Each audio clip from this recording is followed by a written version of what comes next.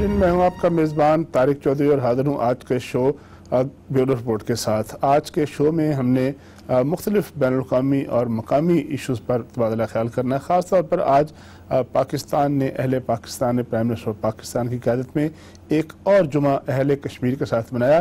زار یکجہتی کیا اور انسانی ہاتھوں کی زنجیر بنا کر مقبوضہ کشمیر کے عوام، جو کہ عوام، جو کہ تقریباً ستر دن سے یغمال ہیں، بھارتی فوجی کے ہاتھوں ان کو پیغام دیا۔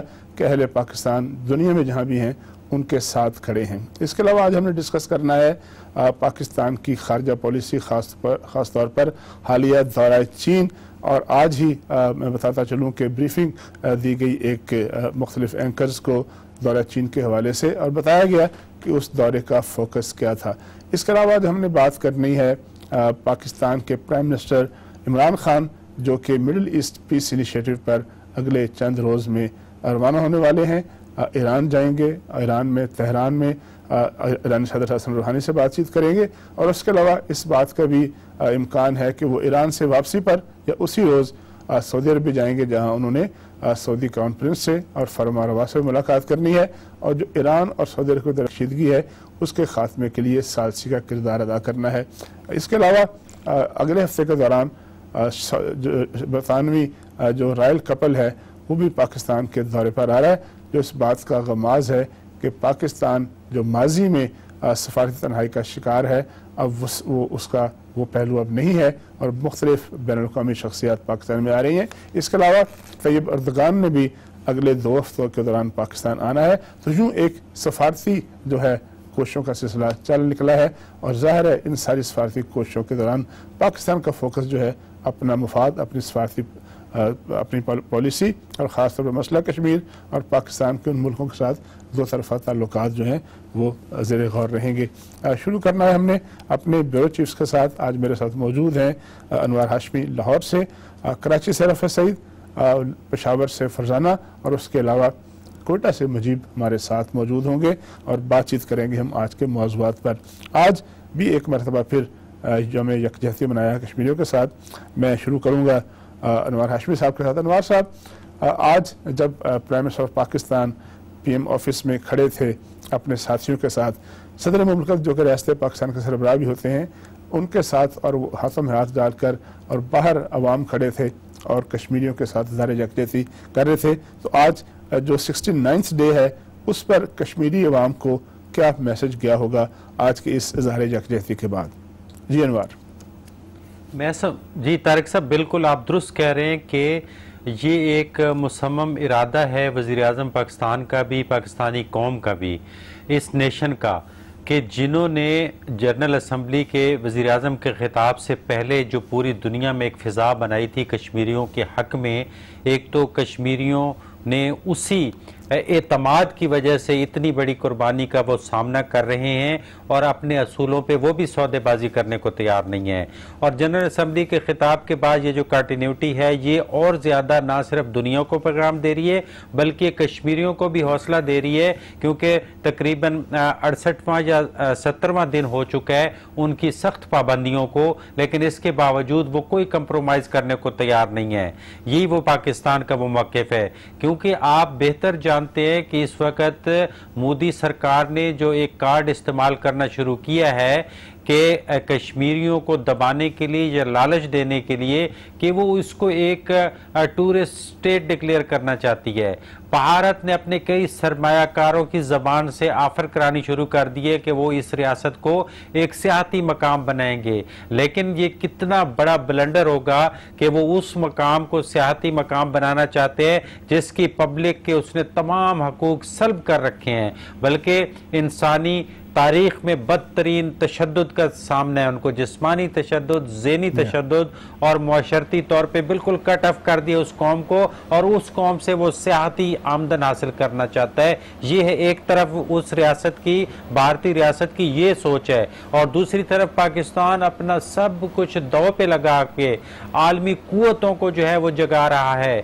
میں سمجھتا ہوں۔ تو جیسے آپ شروع میں کہہ رہے تھے کہ اس میں کوئی شک نہیں کہ کشمیر اور دیگر جو امور ہیں، اس میں آپ پاکستان کے بارے میں یہ آپ نہیں کہہ سکتے کہ یہ کسی سفارتی تنہائی کا شکار ہے۔ کیونکہ میں ایک لائن کے بعد بات یہ والی ختم کرنا چاہتا ہوں کہ آپ اس کو لنک کریں کہ جو چائنا کے دورے کے بعد جو خاص طور پہ سیاستدان تو چلو ڈپلومیٹک لینگویج بھی یوز کرتے ہوں گے اور سیاسی لینگویج بھی آپ آج آئی ایس پی آر کی بریفنگ دیکھ لیں جس میں انہوں نے چینی صدر کے بحاف پہ جو ہے اپنی قوم کو بتایا ہے کہ چینی صدر نے کہا ہے کہ یہ پاکستان کو ضرورت پڑی تو چین خاموش نہیں بیٹھے گا، نمبر ون یہ اور دوسرا یہ فکرہ بہت اچھا ہے چینی صدر کا کہ چین میں جب بھارتی اقدامات جب ہوئے تھے کشمیر میں، تو وہ صرف پاکستان پہ حملہ نہیں تھا، بلکہ چین پہ بھی حملہ تھا۔ تو یقیناً کوئی شک نہیں ہے کہ پاکستان ایز اے نیشن اور پاکستانی گورنمنٹ اپنے اس جو وعدہ ہے، اس کے اوپر پوری طرح قائم ہے اور اس اس کی، ان کی آزادی کے لیے جو بھی پاسبل ہو پا رہا ہے، وہ کر رہے ہیں۔ عرفت آپ کی طرف آؤں گا۔ جب پرائم منسٹر آف پاکستان جو این جی اے میں گئے تھے تو ناقدین کا یہ خیال تھا، ان کا یہ کہنا تھا کہ جو ان کی تقریر ہوگی وہ ایک پیک جو ہوگی، ایک نقطہ عروج ہوگا اور اس کے بعد پاکستان جو ہے، اور پرائم منسٹر آف پاکستان جو ہے، آہستہ آہستہ ان کی توجہ کسی اور طرف مبزول ہو جائے گی۔ ایک ایک بات کہی جا رہی تھی، لیکن آج کا جو یوم یکجہت کشمیر ہے، اور اس کے بعد اگلے ہفتے پھر اسی طرح یہ یہ دن منایا جائے گا۔ اس سے تو ثابت ہی ہوتا ہے، اس سے تو یہ اسٹیبلش ہوتا ہے کہ پاکستان نے یونائٹڈ نیشنز کا جو اجلاس تھا، خطاب تھا، وہ ایک موڑ تھا۔ ابھی اگلے موڑ پہ کھڑے ہیں اور اس کے بعد اگلے موڑ پہ جانا ہے۔ پاکستان اپنی تسلسل کے ساتھ کشمیری عوام کے ساتھ کھڑا ہے۔ ان کے ساتھ ہزار یکجہتی کر رہا ہے۔ اور کشمیریوں کو یہ باور کرا رہا ہے کہ جب تک ان کے مسائل، ان کے مسائل ختم نہیں ہوتے، تب تک پاکستان اس معاملے پہ بات کرتا رہے گا، اجاگر کرتا رہے گا اور کشمیریوں کے ساتھ کھڑا رہے گا۔ جی۔ جی رفت دیکھیے طارق وزیر اعظم پاکستان نے جب وہ اقوام متحدہ میں تھے، اس تقریر کی تھی اور اس سے پہلے جو ان کی ملاقاتیں تھیں، وہ بھی خاصی اہم تھیں اور ایک اس کو نام دیا گیا تھا، مشن کشمیر کا بھی ایک نام دیا گیا تھا۔ تو آپ نے دیکھا کہ جہاں وزیر اعظم نے وہاں کوشش کی تھی ایران کی اور سعودی عرب میں ایک سالسی والی بات کی تھی اور وزیر اعظم نے یہ کہا تھا کہ انہیں امریکی صدر کی طرف سے بھی کچھ اس طرح کے اشارے ہیں کہ وہ کوئی کردار ادا کر سکتے ہیں۔ تو غالباً جو حالیہ دورہ ایران اور سعودی عرب ہوگا، وہ اس سلسلے کا فالو اپ بھی ہوگا۔ اس کے ساتھ ساتھ مشن کشمیر کا بھی فالو اپ ہے۔ کیونکہ پھر ایک بات اور ناقدین کی طرف سے کہی جا رہی تھی کہ وزیر یہ سارے کام پہلے ہونے چاہیے تھے، ملاقاتیں ہونی چاہیے تھیں، اب اس کا فالو اپ ہونا چاہیے۔ تو میں سمجھتا ہوں کہ وزیر اعظم ان تمام چیزوں کا فالو اپ کر رہے ہیں اور وزیر اعظم سے زیادہ جو فارن آفس کی ٹیم ہے، وہ بہت زیادہ ایکٹیو ہے۔ ان کا اصل کردار ہے۔ اس کے ساتھ ساتھ آرمی چیف جنرل قبر جاوید باجوہ کا ایک کردار ہے۔ آپ نے دیکھا کہ چین کے دورے میں بھی وہ گئے ساتھ۔ اور تمام اہم دوروں میں وہ ساتھ ہوتے ہیں۔ اس سے پہلے جب وہ امریکی صدر سے ملاقات کے لیے گئے تھے تو وہ وہاں پر بھی موجود تھے۔ تو اس کا مطلب یہ ہے کہ جو فارن آفس ہے اور فوج ہے، یہ سب مل کر ایک پیج پر نظر آتے ہیں اس سارے معاملے میں۔ اور کشمیر کے حوالے سے موقف کو، اس کا اعادہ بار بار کر رہے ہیں۔ اس کا مطلب ہے اسے بھلایا نہیں جا سکتا۔ اور جو تقریر وزیر اعظم نے ایوان جنرل اسمبلی میں کی تھی وہ اس پر ابھی تک قائم ہیں اور اسی چیز کو آگے لے کر چل رہے ہیں اور آنے والے دنوں میں اس کے کچھ نہ کچھ نتائج ضرور آئیں گے۔ گو کہ جو انہوں نے ایک مایوسی کا اظہار کیا اقوام عالم کی طرف سے بھی، ایک آپ نے دیکھا ہوگا، آپ بھی موجود تھے۔ کہ پریس کانفرنس میں وزیر اعظم کے رویے میں ایک مایوسی تھی اور اس کے جو عالمی قوتوں کے لیے ان کی تھی اور اس مرتبہ وہ عالمی میڈیا وہاں تو وہ خاص مطمئن تھے، عالمی میڈیا کی کوششوں کو سراہ رہے تھے۔ لیکن آج کے بیان میں آپ نے دیکھا کہ انہوں نے عالمی میڈیا سے بھی مایوسی کا اظہار کیا ہے کہ وہ اس طریقے سے مسئلہ کشمیر کو اجاگر نہیں کر رہا ہے جس طرح دیگر مسائل کو کرتے ہیں۔ میں یہ سمجھتا ہوں کہ ایسا نہیں ہے۔ نیو یارک ٹائم کی رپورٹ ہے۔ نیو یارک ٹائم نے جس طریقے سے کشمیر کے حوالے سے رپورٹیں بی بی سی نے تمام لوگوں نے دی ہیں۔ وہ اس کے بعد ہی دنیا کی آنکھیں کھلی ہیں اور چیزیں سامنے آنا شروع ہوئی ہیں۔ جی بالکل پاکستان کی کوششیں جو ہیں وہ جاری ہیں انیشیٹو جاری ہے۔ فرزانہ، آپ کو انوالو کروں گا۔ اسی بات سے شروع کروں گا کہ آج پرائم منسٹر نے صبح ایک ٹویٹ جاری کیا اس ٹویٹ میں انہوں نے کہا کہ دنیا کا جو میڈیا ہے، اس کی توجہ کشمیر سے زیادہ ہانگ کانگ کے معاملے پر ہے۔ پھر آج جب انہوں نے خطاب کیا تو اس میں بھی اس کا ذکر کیا۔ اب پاکستان کا جو عزم سلیم ہے وہ تو جاری ہے۔ پاکستان کا جو انوالومنٹ ہے، پاکستان کا جو ریزولو ہے کمٹمنٹ ہے کشمیر کشمیر کے ساتھ جاری ہے۔ لیکن یہ اتار چڑھاؤ کیوں آتا ہے؟ کبھی ہماری حکومت یہ کہہ رہی ہوتی ہے کہ پاکستان کی کوششوں کے نتیجے میں مسئلہ کشمیر دنیا میں ہائی لائٹ ہو گیا ہے۔ اور کہتے ہیں اور کہتے ہیں پچاس سال میں پہلے دفعہ ہوا ہے۔ لیکن ساتھ ہی ساتھ پھر کبھی مایوسی کا اظہار بھی ہوتا ہے۔ کہ جی میڈیا کیوں نہیں بات کرتا عالمی برادری رسپونڈ کیوں نہیں کرتی؟ یو این جی اے کی پریس کانفرنس میں بھی پرائم منسٹر نے کہا اور آج پھر یہ کہا۔ تو اس کا مطلب ایک لوگ یہ بھی لیتے ہیں کہ شاید ہماری کوششوں کا مؤثر نتیجہ ابھی تک نہیں نکلا۔ تو آپ کے خیال میں اس مایوسی کی اور اس طرح کے اتار چڑھاؤ کی وجہ کیا ہو سکتی ہے؟ دیکھیں، ہمارا چونکہ یہ ایک بنیادی مسئلہ ہے اور کشمیر ہمارا حصہ ہے اور ہم اسے ایک اپنے کی طرح ڈیل کر رہے ہیں۔ لیکن ہماری یہ بھی کوشش ہے اور ہماری یہ خواہش ہے کہ لوگ بھی اس کو ویسے ہی دیکھیں کہ جیسے کہ ہم دیکھ رہے ہیں۔ لیکن جو ایک حقیقت ہے، چول صاحب، یہ آپ بھی جانتے ہیں اور ہمارے ساتھی بھی جانتے ہیں کہ ایسا ہوتا نہیں ہے دنیا میں۔ اب چین ہمارے ساتھ اگر کھڑا ہے تو اس کی وجہ شاید لداخ بھی ہے اور اوورال ایک سچویشن جو وہاں پہ بن گئی ہے کشمیر اور لداخ کی مشترکہ طور پر، تو وہ ہو سکتا ہے کہ اس کی جو انوالومنٹ ہے، وہ پوری دنیا سے ذرا ہمیں زیادہ دکھائی دے رہی ہے۔ تو اس کی ایک ریزن ہے۔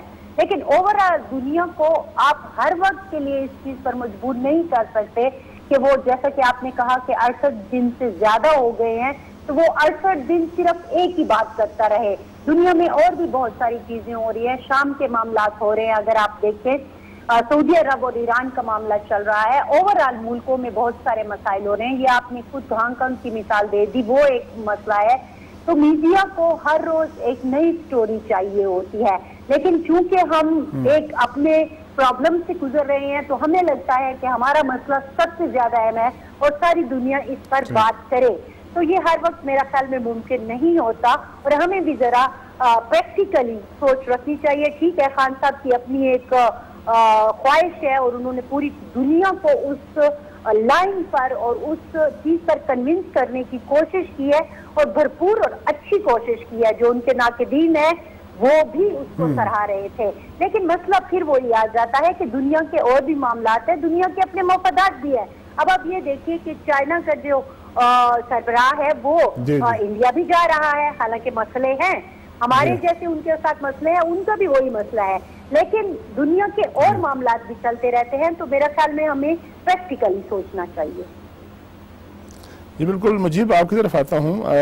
آج آپ اگر دیکھیں جائزہ لیں تو گزشتہ تقریباً ستر دن میں پاکستان نے جو کوششیں کی ہیں اور جو کشمیر کا جو مسئلہ جس نہج پر ہے آج بین الاقوامی رائمہ متاثر ہو رہی ہے، اخبارات ایڈیٹوریل لکھ رہے ہیں اور خود کشمیر کے عوام کی صورتحال یہ ہے کہ گزشتہ کئی دن سے ہزاروں کی تعداد میں لوگ جو ہیں ایل او سی کے گرد و نواب میں جا کے وہاں دھرنا لے کے بیٹھے ہیں اور وہ مطالبہ کر رہے ہیں کہ ان کو ایل او سی کی لائن آف کنٹرول کو توڑنے کی اجازت دی جائے، لیکن حکومت پاکستان اور آزاد کشمیر کی حکومت اور کشمیری لیڈرشپ جو ہے وہ خود تحمل کا اور گریز کا مظاہرہ کر رہی ہے اور وہ بھارت کو یہ باور کرا رہی ہے کہ عوام کے جذبات کو اگر مزید روکا گیا تو صورتحال خراب تر ہوتی چلی جائے گی۔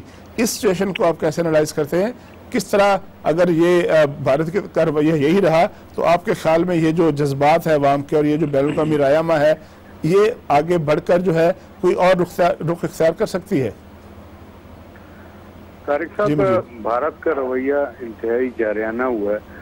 اور ہماری جانب سے جو سفارتی کوششیں کی جا رہی ہیں وزیر اعظم کی جانب سے، ان کی ٹیم کی جانب سے، وہ قابل ستائش ہیں۔ جتنی ہم آواز اٹھا سکتے تھے، ہم نے انٹرنیشنل فورمز پہ اٹھائی۔ اور پاکستان کے اندر بھی ہر جمعے کو ہم احتجاج بھی کر رہے ہیں، کشمیریوں کے لیے یکجہتی بھی منا رہے ہیں، انسانی زنجیر بھی بن رہی ہے۔ جو کے لیے وہ پاکستان کر رہا ہے، پاکستان کی حکومت بھی کر رہی ہے، عوام بھی کر رہے ہیں۔ اور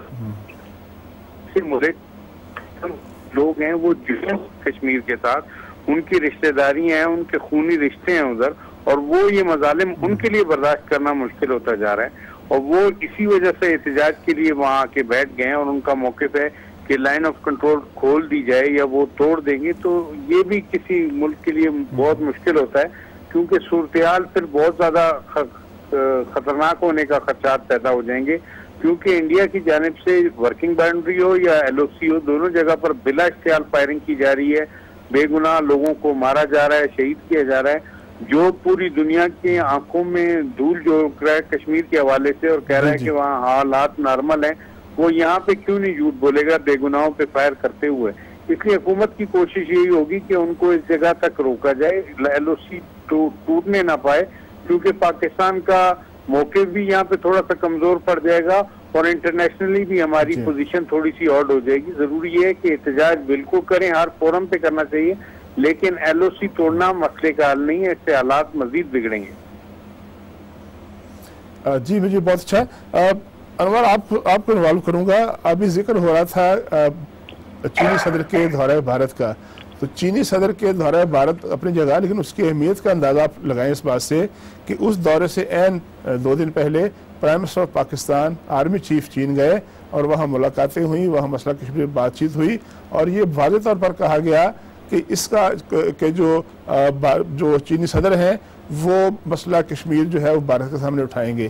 یہ بھی کہا گیا آفیشلی کہا گیا چین کی طرف سے کہ آپ کو بلانے کا مقصد یہ تھا کہ ہم یہ آپ کو باور کرائیں کہ ہمارے ساتھ آپ کی جو دوستی ہے، اس کی کتنی اہمیت ہے؟ اور ساتھ یہ بھی کہا گیا کہ جب پھر وہ دورے بھارت سے واپس آئیں گے، تو ایک مرتبہ پھر وزیر خارجہ کو آگاہ کیا جائے گا، بریف کیا جائے گا کہ اس دورے میں کیا ہوا۔ تو ظاہر ہے، یہ تو پاکستان کی ڈپلومیسی کی جیت ہے کہ ایک سپر طاقت جو ہے، اس کا صدر اگر بھارت جاتا ہے، تو پہلے پاکستان کو بتا کے جاتا ہے۔ اور یہ بھی کہتا ہے کہ جب وہ واپس آئیں گے، تو پھر وہ صورتحال کے بارے میں آگاہ کریں گے۔ تو کیا یہ پاکستان کی کامیابی نہیں ہے آپ کے خیال میں؟ میں دیکھیں، آپ دنیا میں دو سپر پاورز ہیں اور پانچ جو ہیں وہ یو این او کے اندر جو ویٹو پاورز ہیں۔ اس میں آپ خود اندازہ کر لیں کہ چین چین کی کتنی اہمیت ہے۔ ہزار مفادات کیوں نہ ہوں چین کے، ہم ایک چھوٹا سا ملک ہیں، وہ ہم سے ویسے بھی تجارتی تعلقات رکھ سکتا ہے، لیکن اس حد تک تاریخی جو دوستی نبھانا، میں سمجھتا ہوں کہ یہ بڑی غیر معمولی بات ہے۔ ٹیکنیکلی دو چیزیں واضح ہوئی ہیں۔ ایک تو آرمی چیف اور وزیر اعظم کو چینی صدر نے دعوت دی۔ ٹیکنیکلی انہوں نے تھوڑا سا ڈیلے کر کے کہ پہلے میں پاکستانی رہنماؤں سے ملاقات کروں گا اور اس کے بعد چین جاؤں گا۔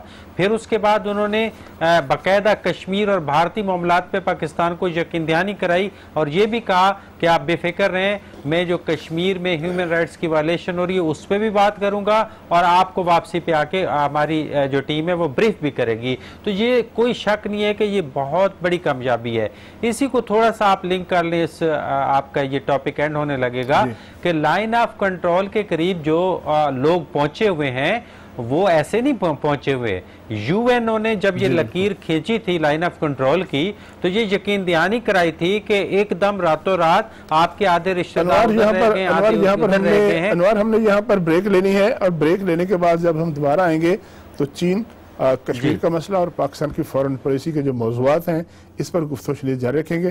بریک لیتے ہیں اور بریک کے بعد دوبارہ آئیں گے۔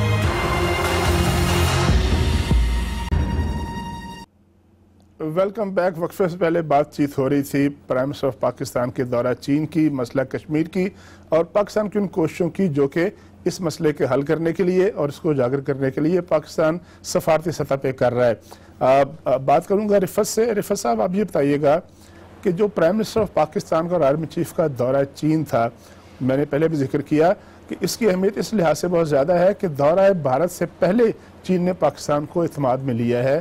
کہ وہ کیا بات کرنے جا رہے ہیں اور جب یہ بھی کہا کہ جب وہ بات کر کے آئیں گے تو پھر بھی پاکستان کو دوبارہ اعتماد میں لیں گے۔ جو اعلامیہ جاری ہوا تھا اور جو وہاں بات چیت ہوئی اس میں پاکستان کی علاقائی خود مختاری کے تحفظ کی بات ہوئی، سالمیت کی بات ہوئی۔ مسئلہ کشمیر کو کہا گیا کہ تاریخی جو حل طلب مسئلہ ہے، وہ مسئلہ ہے، وہ موجود ہے اور اس کو حل ہونا ہے۔ سی پیک کے والے سے بات چیت کی گئی۔ یہ دورہ جو ہے، جس کے بارے میں آج پھر بریفنگ بھی ہوئی ہے اس پی آر میں کس حد تک یہ بات واضح کرتا ہے کہ چین جو ہے وہ سفارتی سطح پر سیاسی سطح پر پاکستان کے موقف کے ساتھ کھڑا ہے۔ جی رفت۔ تاریخ دیکھیں ایک بات کہوں گا ہے تلخ کہ ہم بڑی خوش فہم قوم جی۔ ہیں اور میرے خیال میں ہم خوش فہمی میں بہت جلدی مبتلا ہو جاتے ہیں۔ ایسا لگتا ہے کہ ساری دنیا کو پاکستان چلا رہا ہے۔ پاکستان کا ویژن جو ہے ٹو تھاؤزنڈ نائنٹین جو ہے وہ ہر طرف چل رہا ہے۔ دنیا ہم سے مشورہ کر رہی ہے، دنیا ہماری طرح راغب ہو رہی ہے۔ ایسا نہیں ہے، ہر ملک اپنے اپنے معاملات، اپنی اپنے مفاد کے مطابق کرتا ہے۔ اور چین کے جو بھی بیانات آ رہے ہیں، جنہیں سن سن کر ہم خوش فہمی میں مبتلا ہو رہے ہیں، تو وہ ان کے اپنے مفادات بھی ہیں۔ آپ دیکھیں، کوئی کسی شخص نے، کیا کسی بھی ملک نے بھارت سے تعلقات اس طرح منقطع نہیں کیے ہیں، جس طرح کہ آپ کی خواہش ہے۔ چین، وہی آپ کے سامنے آیا کہ چین، جو چین کے صدر ہے وہ دورہ بھی کر رہے ہیں، وہ وہاں جا بھی رہے ہیں۔ ایک طرف ان کی ڈپلومیسی میں بات چیت بھی انڈیا کے ساتھ چل رہی ہے، بیانات بھی دیتے ہیں۔ کچھ بیانات ہمارے حق میں ہوتے ہیں، کیونکہ چین کے بیانات عموماً ایسے سافٹ آتے ہیں جو سفارتی زبان میں ہوتے ہیں۔ وہ ہمیں بہت اچھے لگتے ہیں، اپنے حق میں لگتے ہیں۔ اسی طرح سے ترکی کے حوالے سے بھی سب اپنے مفادات کا کھیل کھیل رہے ہیں اور اس میں ان کا مفاد جہاں پر ہوگا وہیں پہ کھڑے ہوئے ہوں گے۔ ضروری نہیں کہ وہ ہمارے ساتھ کھڑے ہوئے ہوں۔ ابھی تو ہم دوسرے ملکوں کی سالسی میں لگے ہوئے ہیں۔ آپ نے دیکھا کہ وزیر اعظم جس طرح جا رہے ہیں میں نے آپ سے پہلے بھی ذکر کیا تھا کہ وہ سعودی عرب ایران کی صلح اتنی آسان بات جی۔ جی, جی رفت اس پہ بات کرنی ہے۔ تو بھی میں یہ چاہ رہا تھا کہ آپ اس پہ چین کے ایشو پہ رہیں۔ جی چین کے میں ایشو پر ہوں تو میرے جی، خیال میں آنے کے بعد آرمی چیف نے کہ جو آئی ایس پی آر میں جو بریفنگ ہوئی ہے، وہ ہونی تھی اور وہاں جرنلسٹوں کو بلا کر اینکرز کو بلا کر جو بریفنگ دی گئی ہے، یقیناً وہ بڑی پازیٹیو ہے، باتیں تو بڑی حوصلہ افزا ہیں، ان پر عمل درآمد ہو جائے جب بات ہے۔ جی بالکل رفت بالکل رفت آپ کی بات درست ہے کہ باتیں درست ہیں، لیکن اب دیکھنا یہ ہے کہ عمل درآمد کس حد تک ہوتا ہے۔ مجیب کی طرف جاؤں گا۔ مجیب، چونکہ آپ کے صوبے میں جہاں آپ بیٹھے ہیں، وہاں بہت جو میجر چنک ہے سی پیک کا اس کو وہ کیٹر کرتا ہے۔ اب اس دورے سے جو پرائم منسٹر چین گئے، اس سے پہلے ایک ڈیولپمنٹ یہ ہوئی کہ سی پیک اتھارٹی جو ہے، وہ بن گئی جس کا بڑے عرصے سے انتظار تھا کیونکہ اعتراضات اٹھ رہے تھے کہ سی پیک کو شاید سلو ڈاؤن کر دیا گیا ہے۔ اب ایک تو ڈیولپمنٹ یہ ہوئی، پھر دوسرا، اس دورے میں بھی چین نے سی پیک میں توسیع کا اعلان کیا۔ تو اب آپ کیا سمجھتے ہیں کہ ان دونوں اعلانات کے بعد، اس اس ڈیولپمنٹ کے بعد، اب سی پیک پر زیادہ تیز رفتاری سے کام ہوگا اور وہ جو ایک عدم اعتماد کی فضا تھی، وہ فضا ختم ہو جائے گی اور زیادہ اعتماد پیدا ہو جائے گا، زیادہ تیز رفتاری آئے گی۔ جی مجیب صاحب سی پیک سے جو ترقیاتی منصوبے بننے ہیں، اس کا چھ پرسنٹ حصہ بھی بلوچستان میں نہیں ہے، لیکن اس کے باوجود وہ مکمل نہیں ہو سکے۔ اس حوالے سے وزیر اعلیٰ بلوچستان نے بھی چین کا وزرا اور اس معاملے کو اٹھایا تھا۔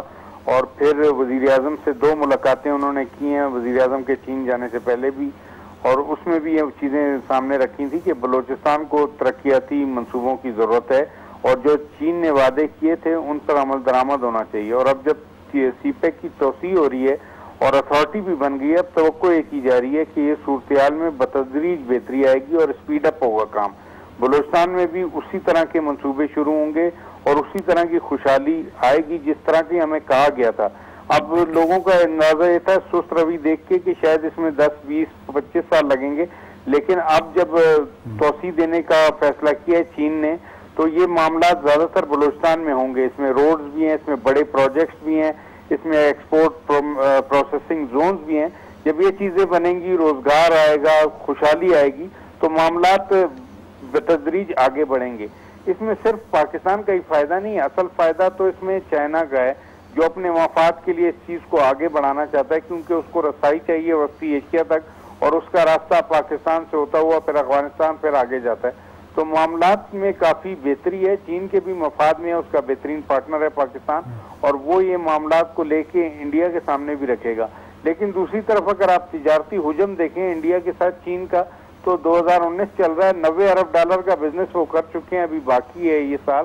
تو اس سے اندازہ کر لیں کہ تعلقات وہ اپنے معاشی اقتصادی حوالوں کے سے رکھتے ہیں چاہے وہ انڈیا ہو پاکستان ہو یا دیگر ممالک ہوں ان کے ساتھ بھی ان کے معاشی تعلقات ہی ہیں۔ سیاسی سفارتی حمایت وہ اس لیے کر رہے ہیں کہ ان کا اپنا مفاد بھی اس سے وابستہ ہے۔ لیکن مجھے بات یہ ہے کہ پاکستان کو تو کبھی کسی نے منع نہیں کیا۔ کہ وہ کسی ملک کے ساتھ، بلکہ کسی بھی ملک کے ساتھ اپنے تجارتی تعلقات نہ رکھے، بلکہ ان میں اضافہ کرے۔ دنیا بھر کا سبق یہ ہے کہ آپ اپنے جو سیاسی مدعے ہیں، اپنے جو تنازعات ہیں، اپنا جو موقع اس پہ بھی قائم رہیں اور دنیا کے ساتھ تجارت بھی کریں، دنیا کے ساتھ انٹیکٹ بھی کریں اور اپنے ہمسایوں کے ساتھ اچھے تعلقات بھی رہیں۔ یہی آج کی سفارتی دنیا کا سبق ہے، سب سے بڑا لیسن ہے۔ فرانہ آپ کی طرف آتا ہوں۔ چین ان چند ملکوں میں شامل ہے جب سے یہ سچویشن پیدا ہوئی ہے، بلکہ ٹریڈیشنلی جس نے پاکستان کے موقف کا ساتھ دیا ہے۔ اب کشمیر کے مسئلے پر چین پاکستان کے ساتھ کھڑا ہے۔ شاید ترکی یا کچھ اور ممالک ایسے ہیں جو اسی طرح پاکستان کے ساتھ کھڑے ہیں باقی دنیا سے ابھی تک ہمیں اتنی مبصر آواز نہیں آئی۔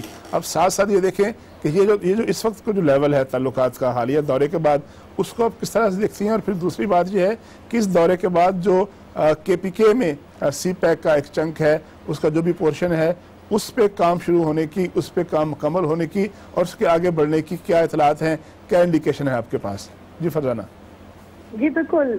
میں اعلامیہ کو دیکھ رہی تھی، جب ان کا اعلامیہ آیا، تو اس میں اگر آپ دیکھیں، تو چین نے بڑی ایک، جو مجھے بہت زیادہ باتیں انسپائر کیا، وہ یہ تھا کہ انہوں نے کہا کہ پرامن مستحکم اور خوشحال جنوبی ایشیا تمام طریقوں کی مشترکہ مفاد میں ہے۔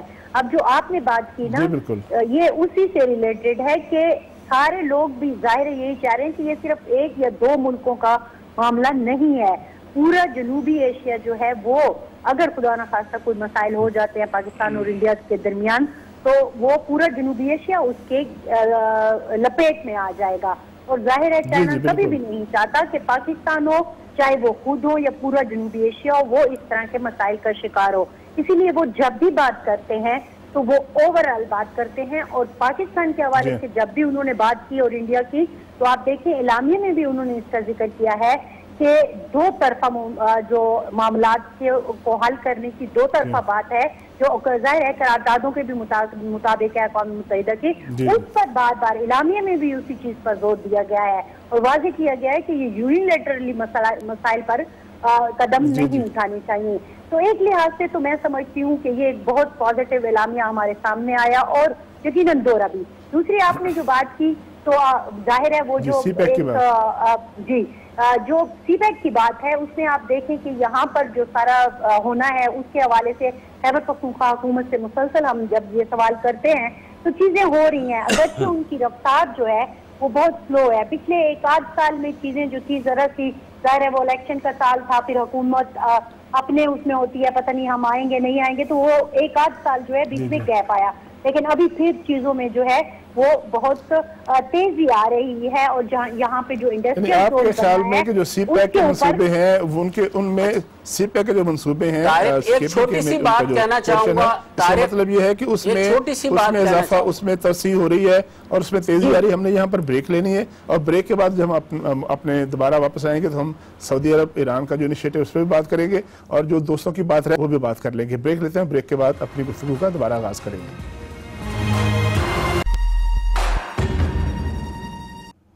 ویلکم بیک اب ہم بڑھتے ہیں اپنے پروگرام کے آخری حصے کی جانب، جس میں بات کریں گے ہم پرائم منسٹر آف پاکستان کا جو مجوزہ دورہ ایران اور سعودی جس کے بارے میں کہا جا رہا ہے کہ اتوار سے شروع ہوگا، مختصر دورہ ہوگا، لیکن پرائم منسٹر آف پاکستان ایک ہی دفعہ یا دو مختلف حصوں میں دونوں ممالک کا دورہ کریں گے اور جو مڈل ایسٹ میں کرائسس ہے، اس کو حل کرنے کے لیے اپنا کردار ادا کریں گے۔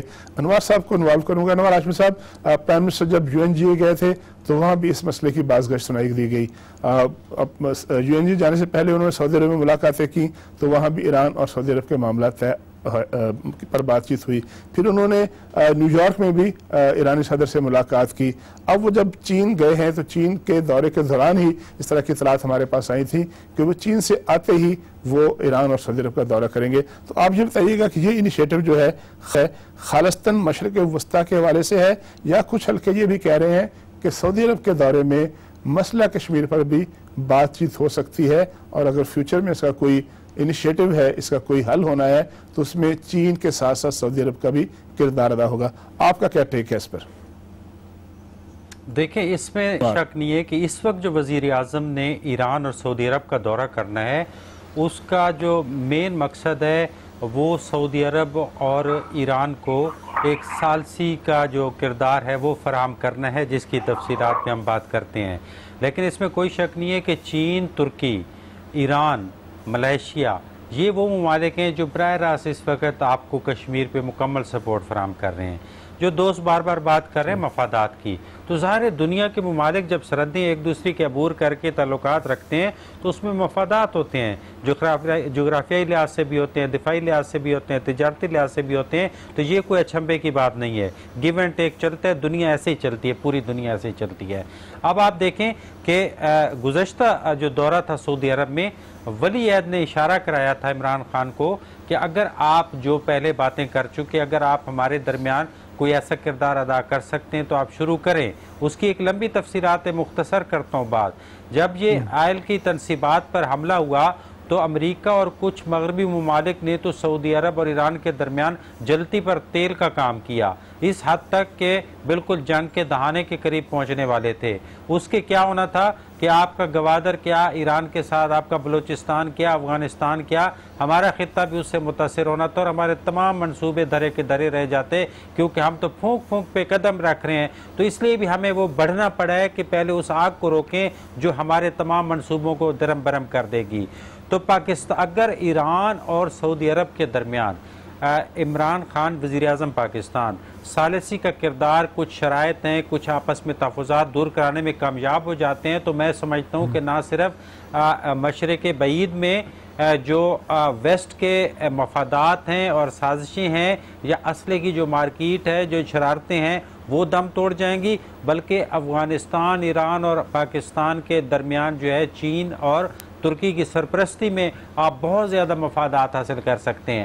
اب آپ ایک بات یہ اتنے بڑے سٹیپ ہیں جو جنرل اسمبلی کے بعد عمران خان نے ایک تو تقریر جو بین الاقوامی سطح کی کی جی، تھی جی۔ اور اب یہ جو اقدامات ہیں اس میں بڑے پھونک پھونک کے قدم رکھنا پڑے گا۔ کیونکہ عالمی طاقتیں جی، آپ کو اس حد تک نہیں جانے دیتی اس لیے میں سمجھتا ہوں کہ یہ ایران پوچھنا چاہ رہا تھا میں اسی والے سے چونکہ وقت ہمارے پاس چونکہ وقت کم ہے آگے بڑھنا رفت آپ یہ بتائیے گا کہ پرائم منسٹر آف پاکستان جا رہے ہیں ایران بھی جائیں گے اور سعودی عرب بھی جائیں گے۔ کیا پاکستان کے پاس اس وقت کوئی ایسا فارمولہ ہے ایسی کوئی تجویز ہے جس کی بنیاد پر دونوں ممالک کو ایک میز پر بٹھایا جائے اور یہ صورتحال ہے جو خاص طور پر سعودی آئل تنصیبات پر حملے کے بعد پیدا ہوئی تھی۔ میں یہاں یاد کراتا چلوں کہ آج جو واقعہ ہوا ہے جدہ کے قریب جو ایک ایرانی آئل ٹینکر تھا، اس پر اس میں آگ لگی ہے، جس کے بارے میں ایرانی میڈیا کہہ رہا ہے کہ اس پر کوئی اٹیک ہوا ہے۔ تو ایسی صورتحال میں جہاں پرووکیشن میں کمی نہیں آئی، جہاں کشیدگی میں کمی نہیں آئی، پاکستان کیا کردار ادا کر سکتا ہے؟ مختصر بتائیے گا، چونکہ باقی دوستوں کو بھی ہم نے انوالو کرنا ہے اس حوالے سے۔ رفت اچھا ایک بات میں کہہ دوں کہ جو پہلے بات ہو رہی تھی سی پیک کے حوالے سے اس جی، میں جی۔ وزیر اعظم پاکستان نے بری طریقے سے سندھ کو نظر انداز کیا ہے وزیر اعلیٰ سندھ بھی اگر اس دورے میں ہوتے تو بہت بہتر ہوتا۔ اب آ جائیں ایران کی طرف۔ جی۔ ایران والے معاملے میں کوئی پیش رفت نہیں ہوگی میں آپ کو یہ بتا دوں۔ چاہے سعودی عرب اور ایران کے تعلقات کی بہتری کے لیے جو ایفرٹس کر رہے ہیں اس کے لیے اپنا بھی ویٹ چاہیے ہوتا ہے۔ ہماری وہ حیثیت ہمارا وہ ویٹ نہیں ہے کہ ہم دو اتنی جن جس ملک سے ہم امداد بھی لیتے ہیں اس کے معاملات اس طریقے سے حل کرائیں۔ ابھی مسلم امہ اس طرح سے لیکن رفت رفت ٹھیک کہہ رہے ہیں لیکن لیکن سالسی کے لیے خود سعودی عرب کہہ رہا ہے۔ سالسی کے لیے خود امریکہ کہہ رہا ہے اور سالسی کے لیے خود ایران کہہ رہا ہے۔ اس کا مطلب ہے کہ ہمارا کوئی نہ کوئی ویٹ تو ہے جو ہمیں کہا جا رہا ہے۔ تاریخ کہہ رہے ہیں بالکل چاہتے بھی ہوں گے لیکن خطے کی جو صورتحال ہے اس میں مجھے نہیں لگتا کہ موجودہ حالات میں کوئی پیش رفت ہو سکے گی۔ مختصراً میرا یہی ایک وہ ہے۔ جی مجھے آپ کی طرف آؤں گا۔ ابھی جب ابھی جب ہم بات کر رہے ہیں تو خبر آ رہی تھی آج ہمارے سکرین پر اور باقی ٹی وی چینل پر بھی آ رہی ہوگی۔ مسٹر پومپیو کا بیان ہے کہ امریکہ جو ہے، وہ سچویشن میں اپنی مزید فوجیں، اپنے مزید ٹروپس جو ہے، وہ ایران وہ سعودی میں بھجوانے کے لیے تیار ہے۔ تو مجھے سب یہ بتائیے گا کہ اس صورتحال میں جب بڑی طاقتیں انوالو ہیں، ظاہر ہے اس معاملے میں مڈل ایسٹ کے معاملے میں ایک فریق جو ہے، وہ امریکہ بھی ہے، جس کا ایران کے ساتھ بڑا ماندانہ رویہ ہے۔ تو کیا پاکستان کی کوششوں کو ایران ایران، سعودی عرب اور امریکہ انڈورس کریں گے اور کیا موجودہ کشیدہ فضا میں پاکستان کا کردار جو ہے کوئی مثبت نتیجہ لے کے آئے گا؟ صاحب جو امریکہ کا کردار ہے، اس سے شہزادہ سلمان بخوبی واقف ہیں اور ان کے عزائم کو مد نظر رکھتے ہی انہوں نے درخواست کی تھی وزیر اعظم سے سالسی کے لیے۔ اسی طرح ایران نے بھی جو درخواست کی تھی کہ اگر پاکستان بیچ میں آئے تو وہ بات چیت کے لیے تیار ہے۔ دونوں طرف سے رضامندی دی گئی اور ان چیزوں کو مد نظر رکھا گیا کہ امریکہ مزید فوجیں عرب خطے میں بھیجنا چاہتا ہے۔ وہ کسی نہ کسی طرح سے کشیدگی کو ہوا دے گا۔ آج کا واقعہ یہ ہے جس میں ایرانی ٹینکر کو نشانہ بنایا گیا۔ اس میں بھی ایسی اطلاعات آ رہی ہیں کہ اس کا الزام سعودی عرب پہ ڈال دیا جائے گا اور ایسے حالات پیدا کیے جائیں گے کہ ان میں کوئی مصالحت نہ ہو سکے۔ لیکن وزیر اعظم کی کوشش توقع یہ کی جا رہی ہے کہ بہت بارور ہوگی اور دونوں طرف سے انہیں اعتماد دیا گیا ہے کہ وہ بات آگے کریں۔ اسی طرح وہ ایران میں بھی بات کریں گے اور ان کے جو تحفظات خدشات ہیں وہ لے کے سعودی عرب جائیں گے۔ توقع یہ ہے کہ کم از کم کچھ صورتحال اعتدال پہ ضرور آ جائے گی۔ وہ جو کشیدگی یکدم بڑی تھی آئل فیلڈ سے حملے کے بعد اس میں کمی آئے گی اور صورتحال بہتر ہوگی اور جو دیگر مغربی ممالک کے عزائم ہیں عرب جی، جی۔ خطے میں مزید فوجیں بھیجنے کے اور اس خطے پہ اپنا کنٹرول بڑھانے جی، کے۔ ہم نے آگے بڑھنا ہے جو کہ وقت ہمارے پاس کم ہے میں فرزانہ سے عرض کروں گا کہ فرزانہ آپ یہ بتائیے گا کہ جو پرائم منسٹر پاکستان کا یہ پیس انیشیٹو ہے to have mediation between Iran اور سعودیہ اس میں پاکستان کے اس کردار کو کس طرح سے انالائز کریں گی آپ؟ جی میرے خیال میں تو بہت ہی پازیٹیو سوچ ہے کیونکہ ایران نہ صرف ہمارا پڑوسی ہے برادر اسلامی ملک ہے بلکہ یہ وہ ملک ہے جو جب ہم چائنا کی بات کرتے ہیں کہ ہر ایک معاملے میں ہمارے ساتھ کھڑا رہا ہے اور ہماری ہر بات کو اس نے انڈورس کیا ہے اور ہمارے لیے حق کی آواز بھی اٹھائی ہے۔ اگر آپ یو این کے تازہ ترین دورے کو آپ تو وہاں پہ موجود تھے دیکھ لیں تو جو چند ایک ملکوں نے وہاں پر ہماری جی فرزانہ آپ کا شکریہ کہ آپ نے ایران اور پاکستان کے معاملے پر آپ نے اپنا انیشیٹو لیا اپنا انیلیسس دیا۔ رفت آپ کا شکریہ انوار ہاشمی صاحب شکریہ۔ اور مجھے سب آپ کا بھی شکریہ کہ آپ ہمارے ساتھ رہے اور آپ نے بین الاقوامی اور سفارتی معاملات پر اپنے انیلیسس سے ہمارے ہمارے ناظرین کو آگاہ کیا۔ ناظرین یہ تھا آج کا شو بیرو رپورٹ جس میں ہم نے ڈسکس کیا ہے مختلف بین الاقوامی معاملات کو۔ اپنے میزبان طارق چودھری کو اجازت دیجیے کل تک کے لیے اللہ حافظ۔